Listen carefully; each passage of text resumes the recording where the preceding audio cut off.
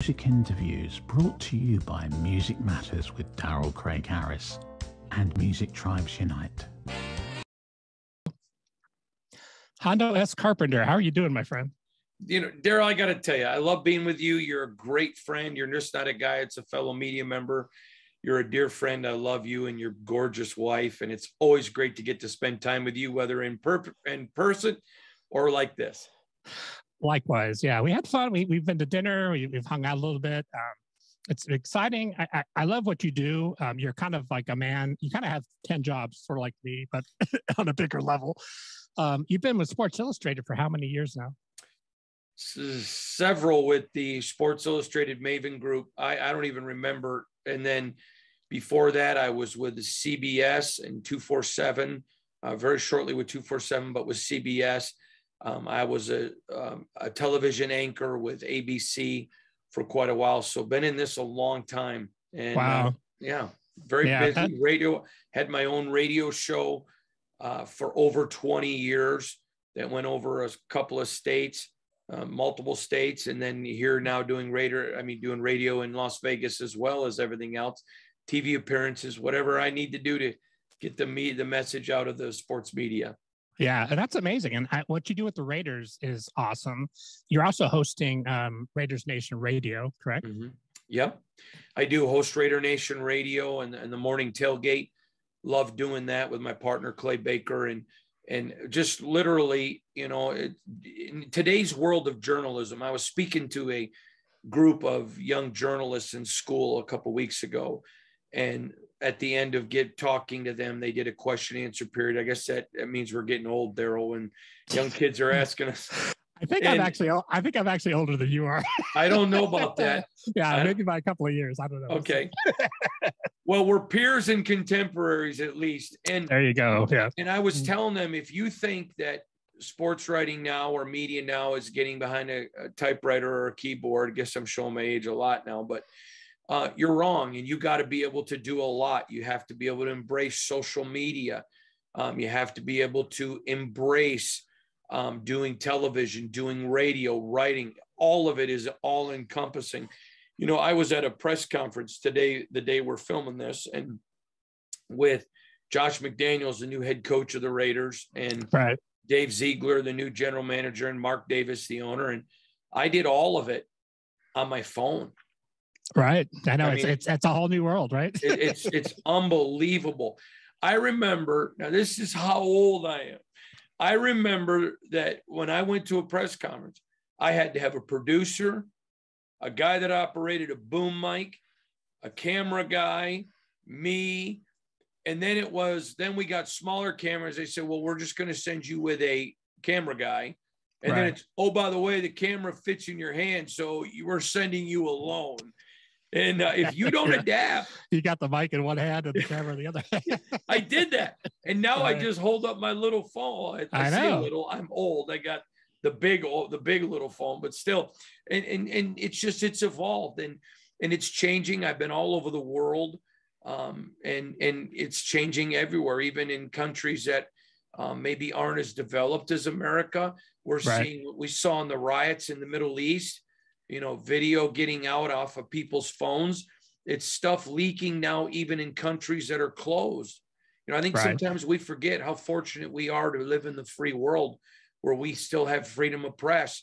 And now even even oppressive regimes are being stopped because are being set in their tracks. They're they're, they're and they're getting set in their in their uh, tracks because people have that phone and they sneak that video out. So uh, right. Uh, it's yep. changed the world. I think it's done a lot of bad.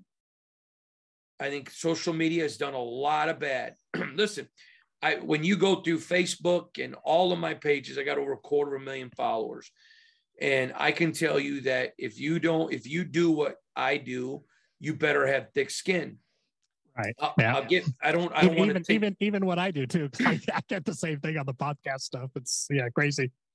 Yeah, I'll give you an example, and I don't want to monopolize your podcast. It's your podcast, but oh, you're fine. Go ahead. I want to give you an example. So, I Derek Carr, the quarterback of the Las Vegas Raiders, uh, finished fifth in passing yards um, in the National Football League. So I asked the new coach today about having a top five quarterback. And literally, I got death threats sent to wow. me. And I had to pass those over to law enforcement.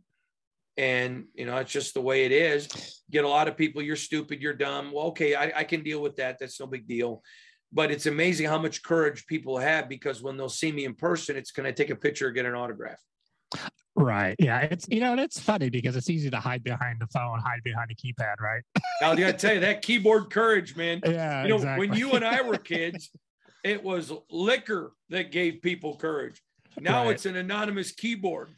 Yeah, I know. It's it's funny, and and like you said, then you meet them in person, like, oh, I'm your biggest fan. I'm like, really? okay, that's funny. How, how did you um? So going back, how did you get started in? I know you said you were. You've told me that you were a jock and all that. How did you get started in broadcasting with the, an interest in that?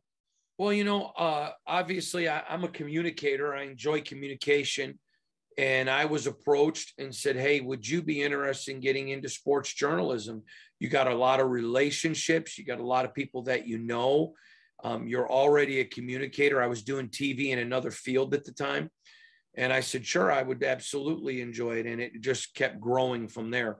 You know, mm-hmm. I, I, go back to talking to these young journalists the other day, uh, and I explained to them everybody thinks journalism is telling a story. And that's true, but it's far from what being a journalist is. It's about relationships. Right. It's it's yep. un- understanding you know, nowadays everybody runs to get the story quickest. For example, earlier the the week that we're uh, earlier last week, excuse me, uh, Tom Brady. People were running around. Tom Brady's retiring. It's over. Tom Brady's done. Well, all of a sudden, Tom Brady's people are like, uh, "Wait a minute! Yeah, wait a minute." I haven't said anything about that. It right. may happen, but I don't even know. And Tom Brady came out and said today that, um, you know, some this is an age where everyone wants to be first. But here's the problem with that. If you want to be first, I want to be accurate. Right. So I don't care if somebody beats me. Um, a couple weeks ago, um, I wrote about Josh McDaniels being a legitimate candidate for the Las Vegas Raiders job and got panned for it. Yep. And a lot of people tell me, you know, this guy doesn't know what he's talking about. It's going to be Jim Harbaugh at Michigan. And well, guess who, you know, it was hired today, Josh McDaniels. And so yeah. it's about relationship. I'll tell you a great story. Years ago, I saw a well known football player and he was walking down the road and stumbling pretty good, but he was walking. And I stopped and I knew him. I covered him. I asked him, How you doing? Are you all right? He said, Yeah, I just had a little bit too much to drink. So I'm, I'm walking home. So I gave him a ride home. The next day, he was pretty sober and he called me about six or seven o'clock at night. And he said, uh, Hey, I noticed you didn't report about me being drunk. And I said, Well, what's the story? Right. Yeah. And, and luckily that the report is that he was walking and doing the smart thing. Right. so I didn't even report it. To me, it right, wasn't a right. story. And sure. and you know, there are times when people will tell you things in confidence. You know, I laugh because my Twitter DMs um, blow up with everyone wanting me to give them the you know the inside scoop.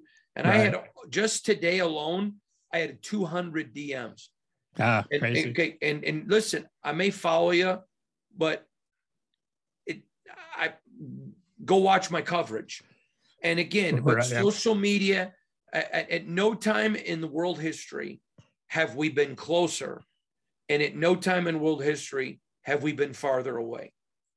Yeah, it, it definitely is a double edged sword. Like it's great to be able, like you said, being first what happens is you have a lot of people that are trying to be first, but then they're inaccurate and they don't retract or correct the story. You know, once they find out what that what they reported wasn't exactly right. That that's the that's the really tough part about that whole thing. I think. Well, I, am proud of something. In all of my decades of doing this, I've never once had to retract a story. That's awesome. Yeah. Yeah. And well, well you know what? If you, yeah, and if you're careful and you pay attention and and you do the work, you can avoid almost all of that, right? Just a lot of, mm-hmm. like you said, it's that it's that battle to get the headline out. It seems like I'll, that's. I'll tell you, a, you know, a funny story. There was a president of a corporation once who called me and said, "I'm going to give you a breaking story," and told me the time that I could break it. And I said, "Fine." And but here's my rule with um, uh, anonymous sources: is that if it comes out you're lying, I'm going to identify you as the anonymous source. Fair and enough. it also has, yeah. It also has to be somebody though that I I built rapport and I know they're trustworthy. Right. So the president of this corp, let's just say them that I, they told me I could break it at noon. So they about an hour and a half later, they call an emergency uh, press conference. So everybody goes to this press conference. And of course, somebody asked this president of the corporation, you know, Hondo Carpenter reported this, and and is this true? And they all laughed. They thought I was completely wet. And the person got up there and they were so mad. And I can't believe this stuff gets out. I hadn't even told our board of directors yet. I can't. And now, and this is the person that gave me the leak. Yeah, you're sitting there. You're sitting there like, uh huh. how funny. Yeah, it's just funny how people are like that. It's like you know, but they like the they like the leak, but they don't want to take the responsibility. well, this president so used it to to beat up the board of directors. You people talk too much, and I think it's ridiculous. And so, what this person did is made them leave their cell phones at the receptionist desk. It was all a setup. Funny. It was so funny. That's so funny. What what's some of the um, I know you've you've known many many sports luminaries. Who are some of the people that are been have been your favorites over the years that you've interviewed? Well, first of all, I, uh, Earvin Magic Johnson. Uh, I right. love Irv, and for those of us that have known him a long time, it's Earvin. It's not Magic. I love Earvin. I love his heart. I love Cookie, his wife, his family, precious people. Um, one of the things that I love is, you know, here is Earvin and, you know, approaching, getting close to being billionaire status. Right. Yep. He doesn't run around with bodyguards. It's still him. Um, you know, he knows he's world famous. He knows that he's going to get stopped for autographs and pictures. And what's he do? He still goes to basketball games and sits in the crowd with everybody else. And um, he's a genuine, warm person. Uh, Shaq, love the love Shaq Diesel. Yeah, he's out there. He's out there having fun. That, that's yeah. that's that's great. I think. I was asked once after a basketball game in Detroit, what's I mean, they they they person said to me, "Is Shaq not smart because he's joking?" And I looked at him and said, "Shaq is one of the smartest people you would ever meet. The issue is." is that he's the one having fun and and and y'all are the hamster in the wheel Right. And, and, and that's a good one. Uh, if you go to hockey, it's it's going to be Gordie Howe. Many people believe is the greatest hockey player of all time. Steve Yzerman's another one. Um, if you go to football, man, I don't know who I haven't interviewed. Um, I, I, football players are just a unique type of people. Barry Sanders comes to mind. He's one of the greatest running backs um, of all time. Tom Brady is such yep. a great guy. He's a great person. Uh, he's a great guy. That's not going to make me real popular in Las Vegas because Raider fans hate the Patriots. But, you know, yeah. Tom Brady's but, a great guy. I'll, I'll give there's, you there's a, there's a lot. There's a lot of love for Tom Brady because he. I think he always comes off as being a straight ahead guy. Which yeah, you know, it's it's that's a tough business. Football, it's a lot. It's a whole lot of different personalities, and you know, we we all know the stories of many of them. But I'll give you another like a, a younger one. Draymond Green who plays for the Golden State Warriors. This is a guy I believe is a future Hall of Fame player. I've known him so long, and he's such a special person. He's passionate. He loves life. He loves his family. Um, he is a guy that I, I, man, I don't have enough good to say about Draymond Green. People, you know, they they don't like him if he's not on your team. Right. But if he is on your exactly. team, you know, you love him in baseball, um, I'll tell you a guy that that I always enjoyed interviewing was Derek Jeter. Uh, Derek's a, a, great guy, tremendous guy. Um, I always liked him. I, I thought he was fun. I thought he was interesting. Uh, Roger Clemens. I know he's a guy right now going through a lot of controversy, but uh, Roger Clemens, a great guy. So for me, I've met so many. I've interviewed so many politicians. I've interviewed so many uh, people of so many different uh, walks of life uh, I once interviewed a, a World War II uh, infantry soldier, and it was interesting. Here is this older man, and he was very quiet, very soft spoken. And we're two or three minutes into the interview, and you know what this is like, Darrell.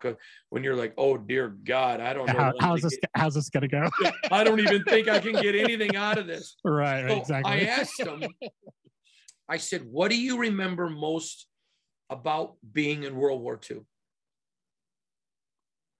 And he stopped and he began to cry. Mm-hmm. And he said, The smell of gunpowder. Yeah. And Imagine. and two hours later, we had finished. I didn't even realize my cameraman had run out of battery about 20 minutes into the interview. Wow. But my here's the cool part. My cameraman didn't even realize it. Hmm. And the guy mesmerized. It was the most one of the most incredible interviews I've ever done. Yeah, it's interesting. You know, the interview thing, like you said, you never quite know what you're walking into. Mm-hmm. Sometimes you, you you think it's going to go a certain way, and then I, I always tell people like, you know, I have my bullet points that I want to hit with the interview thing, but I think the biggest thing is listening, not just asking the questions, listening to the answers because they may take you a place that you can't possibly imagine. That's even better than anything you could have ever asked, right?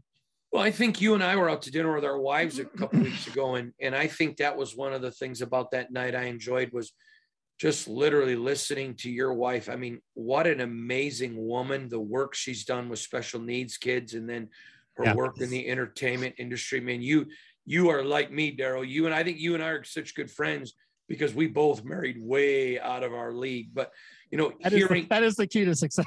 it is. But you and I both, I think, you know, it was fun listening to our wives. I loved listening to your stories. So many things going on in your career. I'm just so proud to be your buddy. I mean, I'm just this little nobody, and you're the big star. And I, well, I like hanging out. That's with, not exactly true. well, I, that's what I think well, I, I, you know it's what's awesome about you is that you're. I mean, I know I know your whole full story, but I, I think what's great about you is you're always positive. You're always trying to impart impart positive energy to people, and that's so important because we need that. That that's that's sort of missing these days in our society. I, I someone asked me one day, how would you describe what you do for a living? And obviously, my job's to tell the truth, but I, I would like to be known as a hope dealer. And I'm a guy that doesn't look at life as a glass half full. Hmm. I have a buddy who wanted kids his whole life. We've been friends for years and years and years. And his seven year old son, he was so excited when his seven year old son was born and so excited about his life. And he buried his son at seven. Uh, uh.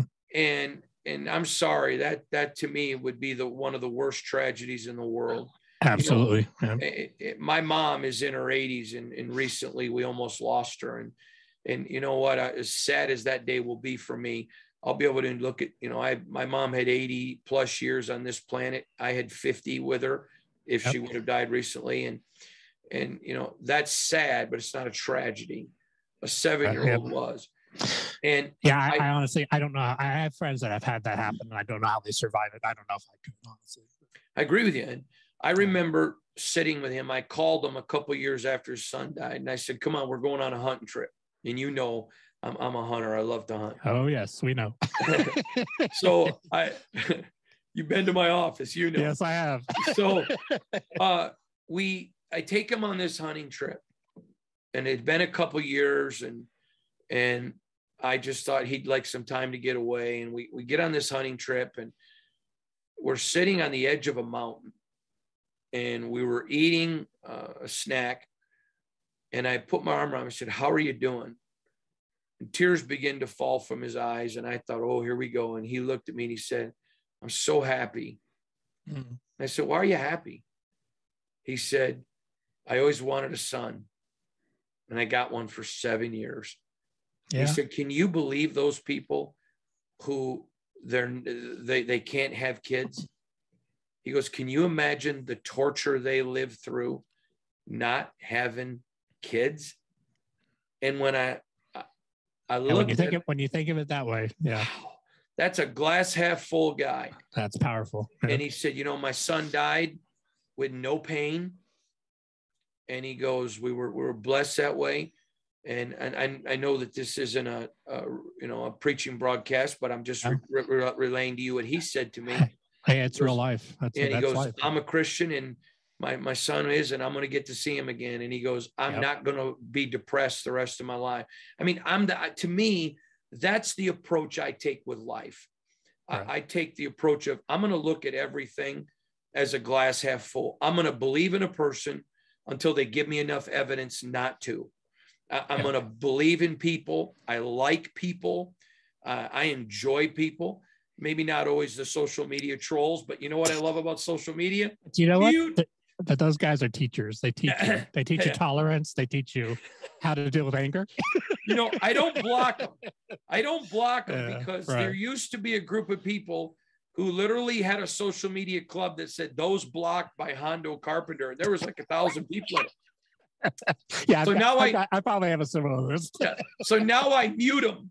Yeah. And so I mute them. So now they, because when you mute somebody, they can't tell that you block that you're not right. watching them. Right. That actually pisses them off more. But, but you know what? I'm going to say this to you. This is one of the reasons why I like you, and and you're a tremendous musician. I mean, you're you're incredibly skilled. You have more talent in one finger, I think, than I have my whole body. And and and I, I love to listen to you play. I love your talent, and you know this. thank you. Well, it's true. And and I remember once sitting at a Billy Joel concert and watching him play piano. I had tremendously good seats. I was there with somebody very well known and watching him. And one thing that stood out with me about Billy Joel is sweat's pouring off his brow playing the piano and he's smiling. He loved it. And I love people who love what they do. I love mm-hmm. people who don't go through life miserable. Yeah. And I, I, sometimes say, okay, when, when someone clicks on a story I write, it may be a loss. And you know, you got to tell the truth. This team lost. What what uh, what's the bright side? Uh, Rich Bisaccia, the former head coach of the Raiders, him and Jon Gruden both gave me great compliments when talking about they love my questions because I would I like to say to coaches after a loss, you know, when you're down on the field, you can't see the whole field. And and think about this, mm-hmm. whether it's soccer, because I know you have a big audience in Europe and overseas, right, whether it's soccer, whether it's soccer or as what you people call football, or or what we call the real football. We love football. Uh, American, right. You know, you you get a better view when you watch the film afterwards because it's shot from a higher level. Sure, and I like to ask coaches, after watching the film, did somebody's performance stick out that was better than maybe you thought from field level? Mm. And again, I think that's looking for positive questions. It's and, and you know, it doesn't mean you don't ask tough ones because I do. I ask some really, really tough ones because that's my job and I have to. Right. But yeah. uh, but I'll, I'll, give you one other quick one if you don't mind. I don't know if we're up against the break. I apologize. No, we're fine. You, I'm, I'm a lot better to have on television and radio because I understand hard breaks, but not in a podcast. I know. But, yeah, that actually, but that's actually the advantage of a podcast because you can go a little deeper, which, which I know is, is awesome. I was listening to a Joe Rogan one the other day, and four hours later, I'm like, oh my gosh, four hours because I was driving. I don't know how people do four hours. I don't either. I, he does that all the time. He does like three hours. I'm like, dude, that's a lot. I don't know how they do it, but they do. Yeah. I need a meal but uh, a pee break, right? Yeah, something. But I, I'm I'm I'm watching these things, and and you can, you know, for example, if a player has a bad game, you can walk up to the player and say, "Man, you really sucked today, and that was terrible, and man, you embarrassed your family, and the fans hate you. What are you going to do to get better?" Okay. Of course, they're never going to want to talk to you again. well, the point is, there's a lot of media who want to interject themselves into the story. Exactly. And then, or you can go up to a player and guess what? I mean, I cover wealthy professional athletes. They know when they didn't play well. And you look at a guy and say, man, you didn't have your best game today. Why? I've never once had a player say I asked an unfair question or an, uh, you know, or, or, or to, to get angry at me for the tone and asked a question. Only one time, and it went viral in your, in your, uh, your fans can actually Google it and watch the video. I asked Mark Dantonio if he had made a mistake not firing coaches the year before because he had a terrible season. And he said it was a dumbass question and it went viral. but, hey, we're, we're, allowed some dumbass questions every once in a while. but the point was, it wasn't a dumbass. I know, I know, I know. I had well, told him earlier in the year all right, if this doesn't work, I'm going to put you on the spot for it. So, hey, fair enough. Well, you know, the thing about the, the interviewing thing, too, like you mentioned, when you're interviewing somebody, I think one of the big rules is don't make it about you. It's not about you, it's about the guest. I'm trying to learn about who you are, you know, and even though we may be friends, I still want to educate the public who's watching our interview who you are, who your background is, and as a full person, not just as a media person or just as a, a star or whatever, right? That that's a super thing, important thing to remember. Yeah, I think it's important. You know, uh, I'll give you a great example if you don't mind. In my world, I know these guys. I know their wives. I know their children. I know their family. In some cases, uh, I even know their parents. Yep. And and so I know them as people. I, I don't know them any other way. And then, at, but fans see, oh, this professional athlete. I see his commercials, all of that kind of stuff and they see them just as they're not human. I'm going to tell you a great story. I, a very, very famous football player, very famous. I mean, I think is going to end up in the Hall of Fame. That's how good he is. One day, I'm walking through a stadium and I see his daughter, and we're friends. And she gives me a hug. Hi, Mr. Carpenter. I said, Hi, how are you? And we're talking. And when I asked her how she was, she started crying. And she said to me, why do people say my dad is stupid and retarded and mm. why why and and you know some first of all we should, why why would you call anybody retarded? That's just so dumb. Exactly. And, yeah but the thing that hit me is sometimes fans don't realize these people are human too. They have children. And they're under a lot of pressure. Yeah and and, and yeah. uh, let me say something. If you want to be critical of a professional athlete, have at it. I don't have any problem with that whatsoever. But when you forget their people too, and and that you know, watch what you say. And again, I have no problem. You know, if someone I, I had a lot of people today after that comment about Derek Carr, you're an idiot. You know, you're dumb. I can handle that. Yeah, it's part of the what? territory. Right? But when you you know when you don't realize their families watch their mm-hmm. families care. You know, one of the things I love about you and your bride, and I won't use her name just because as public figures, we don't use our wives' names, but uh, I love about your bride is she's your biggest fan. And, you know, here you are, you travel the world doing what you do, and you're so good. And, and she said to my wife, uh, how proud she was to be your wife. And I, mm-hmm. my, I thought that was cool. And, and I think that's why our wives hit it off and and became I, I, think becoming fast friends and you you and I already are is you know you, you when you forget that people have families and it's about people. I, I made a rule in my life years ago that my life I, I never wanted to forget it's about people. And exactly. people people matter. People count. And tonight I'm going to go and I'll get in bed in my beautiful big home and listen to the waterfall that goes in my backyard into my pool. And I'll lay there. And somewhere in in the city where I live is a guy that's living in a culvert and he's a guy I've seen before. I've even talked to him once. Yeah we just talked about that. Yeah just recently you and I did. And yeah but guess what? I'm no better than him because I'm on television or radio or because I'm known as a journalist or anything else I do in my life. I'm no better. And and and he matters. And he matters and, you know, to me. and the thing is we all have a story and now everybody's story is valid. That's something you know that i think we have in common. I think we both feel that way. Like you know you may you see people walking down the street and everybody has their issues they have their stuff going on but mm-hmm. you know everybody's valid everybody's story is valid they have their life to lead we have ours but someday you know we're going to see that this is school we're here to be educated we're learning yeah. our lessons we're going to make mistakes but that's often when I've made mistakes is when I've learned the most, right? In our in our lives. Absolutely. You know, I have a motto that you know uh, about I'm not a perfect person. And I want to hang around with imperfect people because when you find somebody that gives off an air of perfection, you just know they're fake.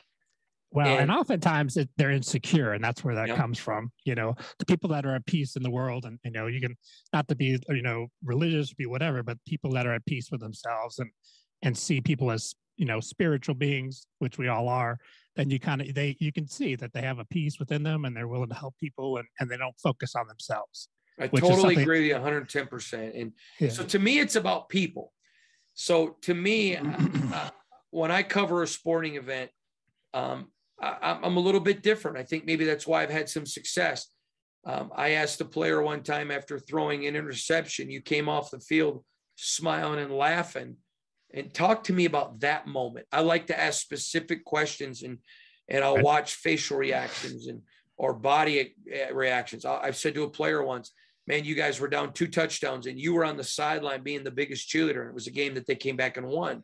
Tell me about that moment.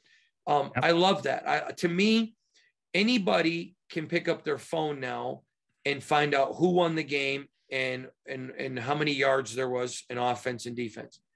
My job is to tell you I get the position other people don't. I have the front row seat. I'm in the locker room. I'm on the field. I'm on, you know, next to the ice, whatever, whatever sport I'm covering. So my job is to not tell you what you can readily get. My job is to take you places you can't go. Yeah, you get to dig deeper, flesh out the story, what's behind the story. I think that's so important. That's something we were just talking about with the boxing thing that I, have been working with. I'm like, you know, you get the stats and everybody wants to know the stats. I said, but a, there's actually a much bigger story. I want to know why this guy wakes up every morning at 5 a.m. and goes for runs a couple of miles and trains all day long. Like, what's mm-hmm. the story? What you know, what's the motivation? And it's not just about winning because it's it's way more than that. It's their family. They're maybe they're supporting their whole family there's always a big story there, and it's it's, it's I think to me that's the more interesting story than just the numbers. I agree with you 100. percent Yeah. What's what's some advice you would give to young people that want to get into sports journalism or journalism in general? What's what's some things you've learned along the way that are really important points? Number one, don't ever walk into a story with a preconceived notion. Hmm. Um, for example, I've been around the game of football for decades, for five decades, and I can tell you, um, it, I always have an idea who I think is going to win, but I never know. I know a lot of um, media people who yeah, start writing their story sometimes the night before because hmm. they want to be the first one to have a story out. Well, if I already know how the storyline is going to go, I'm going to look super stupid. So well, I don't go into any story with a preconceived notion or a preconceived opinion. I may have things I'm watching for. So, for example, I'll give you an example. I'm going to be at the Super Bowl in a couple weeks, and uh, Matthew Stafford, I know really well, the quarterback um, of the the Los Angeles Rams. Brian Allen, the center, a dear friend of mine. Uh, you know, my wife and I were with him in, in, in on, a, on a personal side earlier this summer. Great friend, great guy. On the other side, Trae Waynes, the defensive back for the Cincinnati Bengals. Man, I know Trae really well. Fellow awesome. hunter, great guy. Okay, so I'm going to go into those games rooting for those three guys to do well. I know them, I like them, I respect them. I think the Rams are going to win this, the game, but I've seen so many upsets in my life that I'm going to go in there and watch it. I'm going to go in there and, and, pay attention to it and let this let the game evolve and tell its own story. Uh, if. I'm, I'm not going to get political, but I want to address something.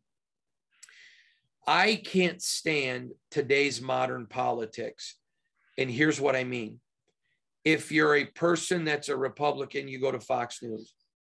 If you're a Democrat, you go to MSNBC or CNN. Yep. Well, I don't want either side telling me what I think. I'm not stupid. I want to know what's said. So if there's a president in office that I don't like, I still listen to his press conferences. I listen to his speeches. If there's one I like, I still listen to his press conference and I still listen to his speeches. Uh, again, I'm not going political, but just stay with me for a moment. I, I, I got you. I think you'll see my point it amazes me how many people on the right get angry when a left president like President Biden or President Obama spend a lot of money.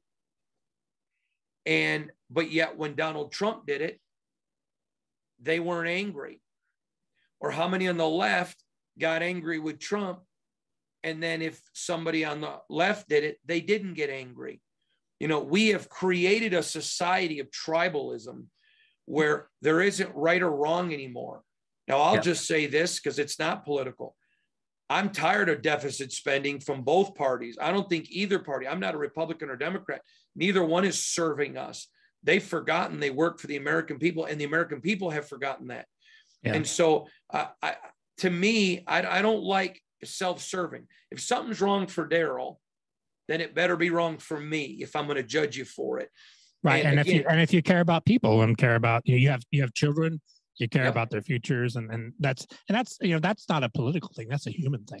Exactly. it, it, it's a hundred percent correct. And, and, and so I think it's fair to say for a young person, I, there are three pieces of advice. Number one, let the story come to you. Number two, don't ever apologize for being human. Uh, I'll give you a great story. So, several years ago, there was a family that I don't remember now if they were adopting a child who had been with them as a foster child or if they had already adopted them and they'd been a foster child. But it was right there. And they murdered the child. Mm. They murdered him. And I'm sitting on the desk at the TV station. And they're talking about, you know, these people are going to be, you know, justice, they're going to go to jail. And I was angry. And later on, the next day or a day and a half later, maybe I was doing a local radio show and somebody, uh, you know, said something to me and, and I brought up that case. And I said, it's not justice if they get to live. Yeah. And I said, I'm sorry, I can't sit there on the news and act like, well, justice was served because the, the lady said, well, I have a mental disorder and I and I, I can't I can't be blamed for what I did. Well, but you didn't when you adopted the child just a few months before and they had to do mm-hmm. a complete background on you. Right. And again, yeah. to me, right is right and wrong is wrong. Whether it's somebody I love did it or somebody I didn't love that did it whether it's somebody I support or don't support. I don't like situational ethics. Um, I don't like today's society where you know we just don't call a spade a spade. And you know what? Wow, why the People, goalpost keeps goalpost keeps changing. Yes, and I, I, don't like the rule, right? Yeah, it's it's it's so frustrating. I agree with you, and I think again, I think that's just another area why you and I are such good friends. Yeah, and like I said, you know, the thing is, um, and yeah, because I don't do politics really in this situation. We all have our own feelings about things. Right. But I think, you know, it's a human thing and there's there's a middle for the there's a reason why there's a middle. yep. and, and and not only in politics, but in life. And I think the thing is it's all about respect. And when it comes to journalism, it's also about respect. Like you said, people have families. People, these guys are under a lot of pressure on these pro sports teams to go back to that. So, you know, be respectful. You can, and as a journalist, you can do that and still get the story. I and agree. Tell, and be and be honest. I think that's. And I thing. told you I had three points. So my, my the first one is done. You know, don't preconceive the story. Number two, don't forget you're human. But here's the third, and it's the biggest one. Is remember it's all about people. I'm able to pick up the phone and call some very, very, very famous people who won't return other people's calls. And the reason is, is because over the years, I've built relationships and I'm trustworthy. They it's say, hey, I, integrity, right? Yep. And and it, it, integrity. You and and so when you remember that it's about people, I'm going to give you a great one. So several years ago, there was a story that I was aware of that would have got a lot of clicks, a lot of. I'm, I, I would have guessed probably 25 to 30 million clicks. So that's a national big story. Sure. But it was a big story because it was sensationalism. It really wasn't a big story, in my opinion, in what I do. Right. It probably it would have been more about story. the participants and yeah. Yeah. It, it, probably would have been a big story, maybe to TMZ or to National Enquirer, but it wasn't about, it would not have been a big story in the world that I operate. So I went to this person and said, listen, I've got this video of you sent to me. And I bought it. Mm. And I said, I would not have bought it, except I don't think it's fair for me to report. And I said, I know your personal life. I know what you're going through. He had a child that was very ill and dying. Oh, wow. his, wife, his wife couldn't handle it. And it wasn't my friend, it was another guy. So right. they were going through a divorce. And and I gave him the videotape. And I said, I want you to promise me you're going to get some help. And if you do, I'll never run this. Mm-hmm. Now, let me just say a very famous person. Right. I gave him the videotape. and he actually went and got help. And I'm glad to say, thanks to my opinion, to the goodness of God, him and his wife, um, she ended the divorce. They're they're still together and still happily married now.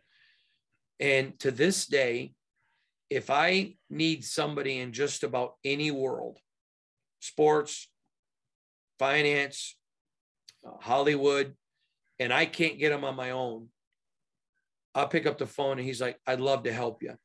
And yeah. he's opened doors for me by telling people this guy is completely trustworthy. And you can hey, you know what? Him. That's that's all we have in this life is is our word and our integrity. And Once you lose that, there's no place to go. Especially with with, with what we do. Um, and you do it at a much bigger level than, than me, but with what we with what we do, integrity is the thing. And if, if people don't trust you, and and if you if you violate that, a word gets around really quickly. Yep. so you, you know. you, are absolutely right, and you know I'll, I'll give you something that I, one of the things that I enjoy about my friendship with you, and of course all of your fans know this. I'm I'm preaching to the choir here, but I I love I, look at people in a lot of different ways. When I cover an athlete, doesn't matter to me if he's a good husband or a good dad for my story, but I still watch that because I root for good people.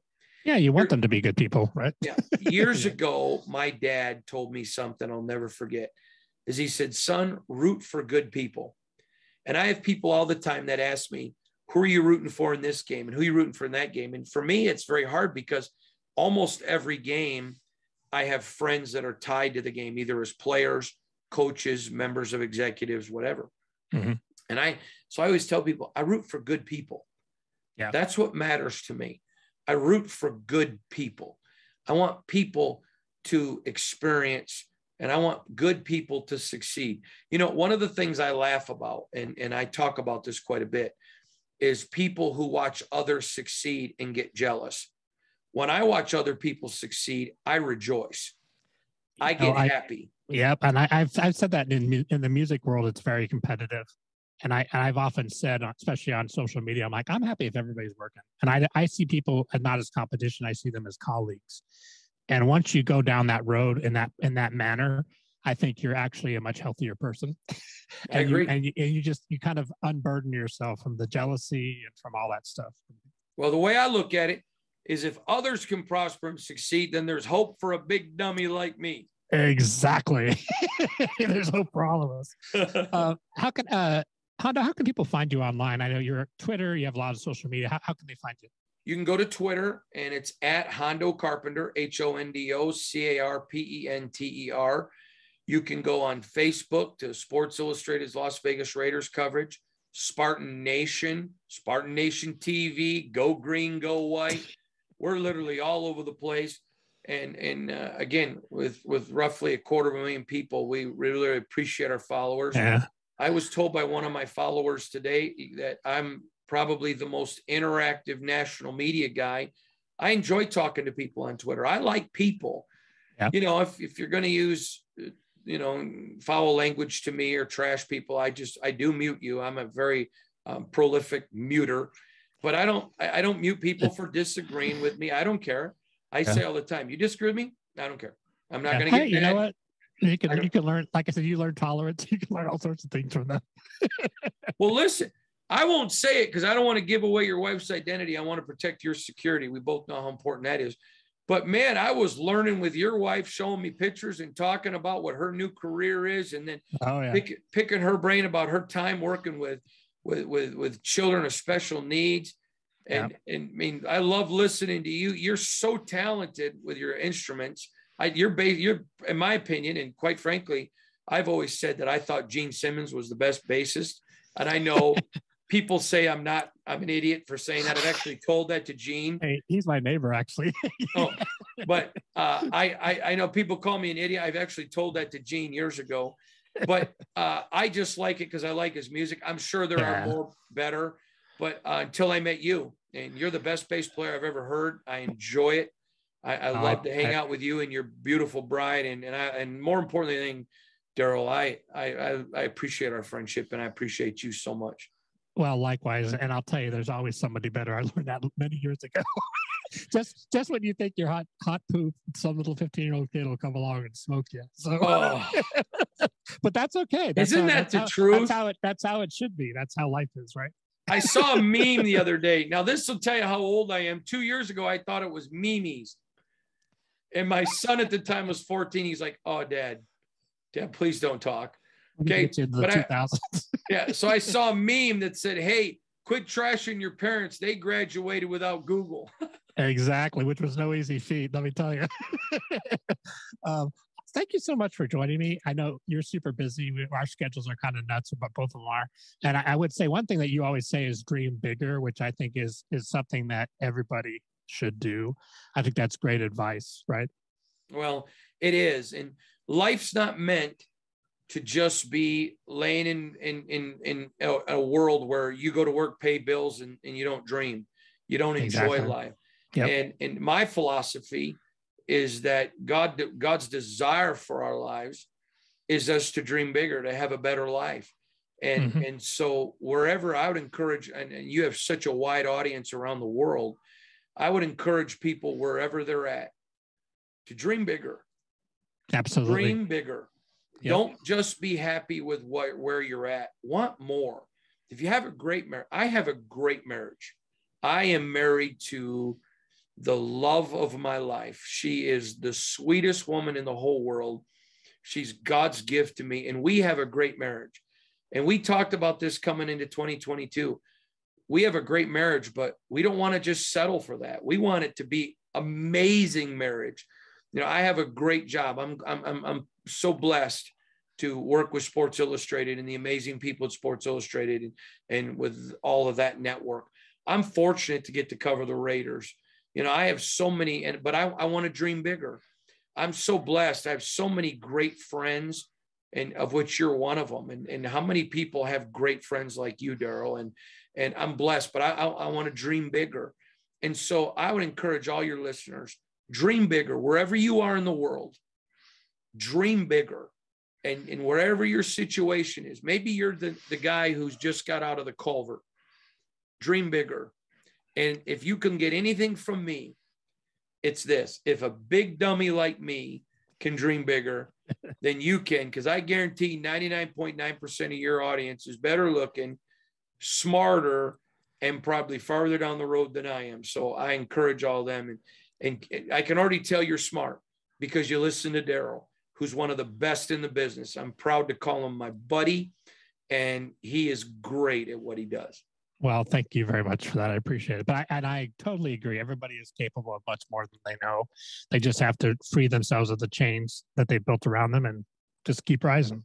Keep and working. tell, and I would say this wherever you are in the world, you can tell them, hey, there's this amazing podcast called Music Matters with Darrell and and and I heard a hope dealer on there. And this hope dealer said, You can do it. Now, let me just share this with you. Wherever you are in the world, when your mom and dad conceived you, there were millions of millions of sperm present. So at some time in your life, you've already beaten 100 million to one odds.